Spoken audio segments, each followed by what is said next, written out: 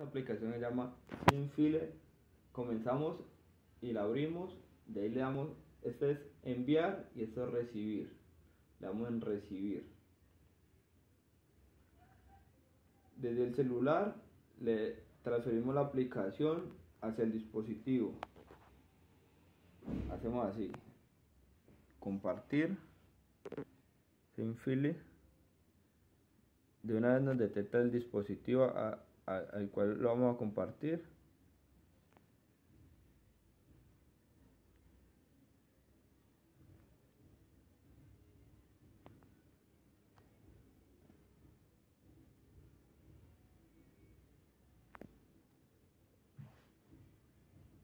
Damos compartir. Nos detecta el dispositivo y ya el televisor eh, lo comienza a a detectar. Que la aplicación esté ya en el decodificador, le damos los permisos.